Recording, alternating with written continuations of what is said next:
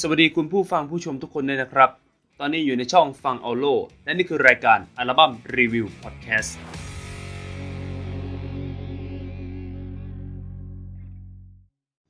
EP ที่ 2 ของรายการอัลบั้มรีวิวพอดแคสต์ในคลิปนี้นะครับ ผมจะขอหยิบผลงานอัลบั้มล่าสุดของศิลปินระดับลีเจนเลยก็ว่าได้นะครับ อายุของพวกเขาเนี่ยก็เลยวัย 50-60 กันแล้ว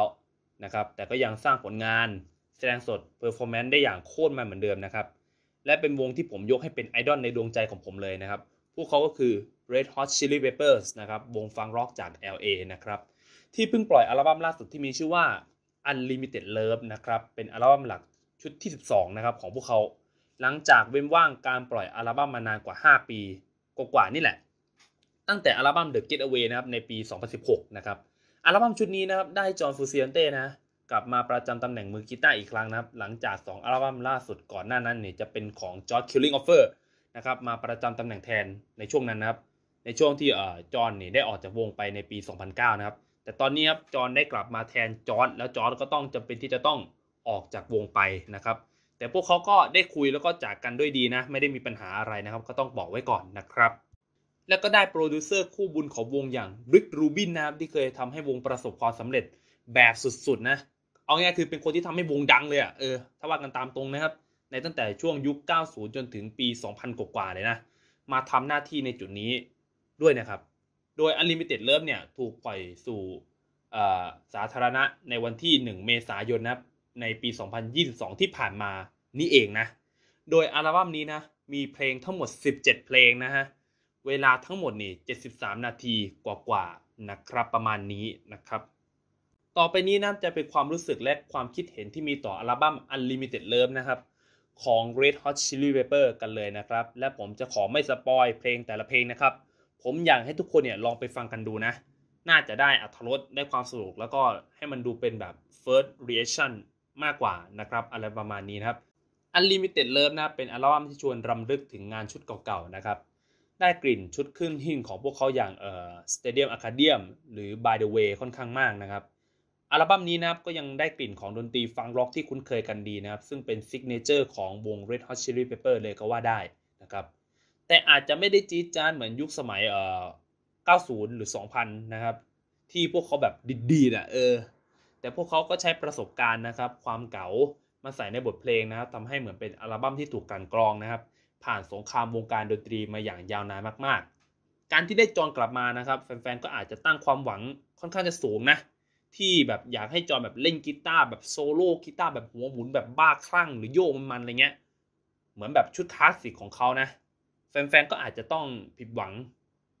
มากหน่อยนะ ก็แล้วแต่ขึ้นแต่คนนะว่าจะผิดหวังมากหรือผิดหวังน้อยนะครับ แต่ผมคิดว่าเกิน 50%อะต้องผิดหวังแน่นอน เพราะว่าอัลบั้มนี้เนี่ยรู้สึกจอนจะไม่ได้กลับมาในเวอร์ชั่นที่แบบแบบโซโล่แบบบ้าคลั่งอะไรขนาดนั้นนะครับในความรู้สึกผมนะ แต่มันก็ยังเป็นผลงานที่พวกเรายังสามารถสนุกกับมันได้นะครับ แค่อาจจะไม่ได้เล่นแบบสาใจหนักๆเหมือนยุคอดีตของเขานะ แต่แต่ในเพลงก็ยังมีการโซโล่สนุกสนุกนะ เอาตรงแต่ว่าถ้าไปเอามันเหมือนชุดเก่าๆผมว่ายังยังไม่ถึงขั้นนั้นนะ จอนกลับมารอบนี้นี่ถือว่าพวกเขากลับมาประจำตำแหน่งให้ออกแนวหายคิดถึงเลยแหละ อาจจะไม่ได้มีเพลงโซโล่มันๆอะไรมากมายนะครับ แต่ผลงานการบรรเลงของจอนก็ ยังอยู่ในมาตรฐานของความเป็น Red Hot Chili Pepper เหมือนเดิมนะครับ ต่อมานะครับลุงเชสมิธนะครับมือกองของเรานะครับ รู้สึกว่าในอัลบั้มชุดนี้นะครับลูกเล่นลูกทรงจังหวะนะครับไดนามิกของลุงแกก็ยังขลังเหมือนเดิมนะเขายังเป็นกระดูกสันหลังของวงนะครับ และก็ในวงการนี้หาตัวจับยากมากจริง ๆ นะครับ แม้จะอยู่ในยุคที่นักดนตรีนะครับเก่งมากๆเนี่ยเยอะมากๆนะ แต่ความเก่าก็ทำให้ชายคนนี้ยังเป็น the best drummer ของวงการร็อกเหมือนเดิมนะครับ เอาง่ายคือลูกเล่นแบบเพลงพังแกก็ตีได้ยอดเยี่ยม เพลงร็อกก็ตีได้ยอดเยี่ยม การขึ้น dynamic การลง dynamic การตีจังหวะลูกส่งของเขานี่ยังอยู่ในระดับที่สุดยอดเหมือนเดิมนะผมว่าเป็นเป็นมือกลองที่ เอาง่ายคือหาตัวจับยากแล้วก็ไม่ได้เจอมือกลองแบบนี้ง่าย ๆ นะ ในสไตล์แบบนี้นะผมว่าหาตัวจับยากมากจริง ๆ นะครับ ต่อมานะครับลุง Flea นะครับผมคงไม่ต้องพูดถึงอะไรมากมายสำหรับชายคนนี้นะครับเขาคือบุคคลที่ทำให้ Red Hot Chili Pepper นะครับมาไกลมากๆนะครับสร้างเอกลักษณ์ไว้โคตรชัดเจนเลยครับอัลบั้มชุดนี้ก็เช่นกันนะครับลุงฟรีก็ยังรับจ็อบหลายอย่างมากๆ ทั้งการเล่นเบสที่เป็นตำแหน่งหลักของแกอยู่แล้วนะครับ แล้วก็มีการไปเล่นคีย์บอร์ดนะครับแล้วก็ทรัมเป็ตเครื่องดนตรีที่แกชอบด้วยนะครับ ถือว่าลูกเล่นลูกบ้าของลุงฟรีก็ยังเหมือนเดิมไม่เปลี่ยนแปลงนะครับผมว่าแกยัง มีมาตรฐานที่ยอดเยี่ยมเหมือนเดิมนะครับ ถือว่าแกยังแบบบ้าบ้าแบบแบบบ้ามากๆอะเออ แกคือแบบแกจะอายุ 60 แล้วคือแกก็ยังบ้าเหมือนเดิมนะ ผมชอบแกมากๆนะครับ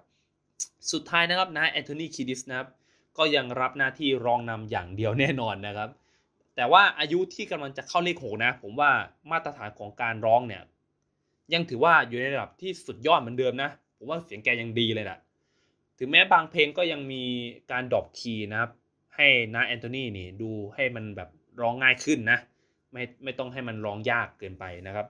แล้วก็หุ่นแกก็ยังฟิตเหมือนเดิมนะเฟี้ยวเหมือนเดิมนะครับ เอาไปอวดพวกวัยรุ่นอายุ 20-30 ผมบอกเลยก็ยังก็ยังแบบเสมอสูสีได้เลยอะเออนะครับอัลบั้มชุดนี้ครับยังมีความเป็น funk rock เป็นทุนเดิมนะครับ แต่ก็สิ่งที่ใส่เพิ่มลงไปในอัลบั้มชุดนี้ครับให้มันดู แตกต่างจากชุดเก่าๆก็คือมีความเป็นดนตรีป๊อปมีความเป็นแจ๊สหรือแบบดนตรีละตินอะไรอย่างเงี้ยผมว่าโดยรวมทุกๆเพลงนะครับมันมีมาตรฐานที่ยอดเยี่ยมอยู่แล้วนะมันฟังเพลิน ฟังง่ายนะครับ แต่สิ่งหนึ่งที่ต้องยอมรับว่ามันไม่เหมือนแต่ก่อน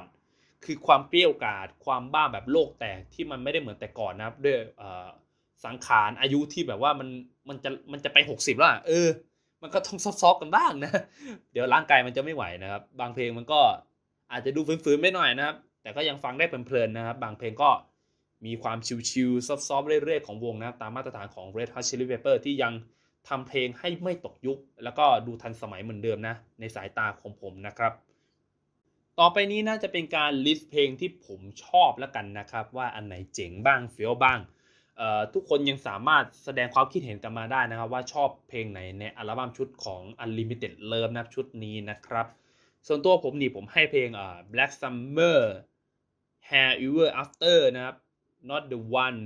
Poster Shy is only natural she is a lover they are the ways one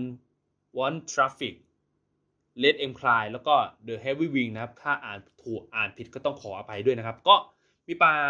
ประมาณนี้นะที่ผมชอบนะครับ ในเพลง Red Hot Chili Pepper ในอัลบั้มชุดนี้นะครับคะแนนที่ผมจะให้อัลบั้ม Unlimited Love นะของ Red Hot Chili Pepper นะครับ ผมขอให้ไปที่ 7 เต็ม10นะครับ ก็ยังอยู่ในมาตรฐานที่ดีเหมือนเดิมนะครับ แต่ถ้าจะไปเทียบชุดดัง ๆ อย่างแบบ By the Way อย่างเงี้ย Stadium Arcadium อย่างเงี้ยหรือว่าชุดแบบขึ้นหิ่งอย่าง Californication เนี่ย ผมว่ายังไม่ถึงขั้นนั้นนะ แต่ก็เป็นอัลบั้มที่น่าจะถูกจดจำไปอีกนานนะ ในอัลบั้มเอ่อ Unlimited Love นะ ผมว่าเพลงสนุกสนุกเยอะมากนะ แล้วก็ผมว่าฟังได้ทุก วัยนะ จริงๆ ถือว่าเป็นเพลงที่ฟังเพลินๆสนุกสนุกบายๆมีทั้งโยกบ้างมีทั้งฟังเคลิ้มๆหรือฟังตอนนอนยังได้นะเออนะครับ แต่ก็ยังสนุกเหมือนเดิมนะครับก็ใครชอบสไตล์แนวเพลงแบบฟังร็อกอะไรเงี้ยแต่เพลงโจ๊โจ๊สนุกสนุกบายๆแล้วก็มีความเป็นป๊อปหน่อยๆเนี่ยผมว่าก็ลองไปฟังอัลบั้มชุดนี้นะสำหรับ Unlimited Love ของ Red Hot Chili Pepper นะครับ โอเคครับก็จบกันไปแล้วนะครับสำหรับการ รีวิวอัลบั้ม Unlimited Love ของ Red Hot Chili Pepper นะครับ ก็ใครชอบคลิปนี้ก็ฝากกดไลค์นะ กดแชร์นะ กด subscribe นะ เพื่อเป็นกำลังใจในคลิปต่อๆไปของทางช anel ฟังเอาโลกันด้วยนะครับ ก็ฝากกันไว้เยอะๆด้วยนะครับสำหรับ